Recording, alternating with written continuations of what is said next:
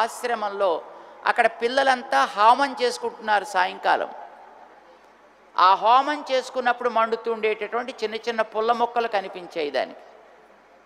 ఆ పుల్ల ముక్కల్ని పట్టుకొచ్చి ఒక చోటకి పేర్చి అందులోంచి ఒక మండేటటువంటి పుల్లను కూడా తెచ్చి దాన్ని వెలిగించి పెద్ద జ్వాలని చేసిందట ఆ బోయవాడి ముందు.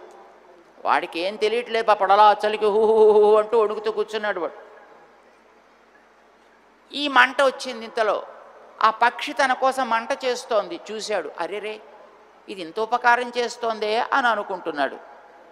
కాసేపు చలి కాచుకుంటున్నాడు ఇంక వాడు. ఆ తర్వాత వాడికి ఆకలి వేస్తోంది కదా ఆకలి తీర్చవాలి అని అనిపించిందిట ఆ పక్షికి. ఆ మండేటటువంటి అగ్నిహోత్రంలో తానే దూకి కాలి వాడికి ఆహారం అయిపోయిందిట ఆ పక్షి.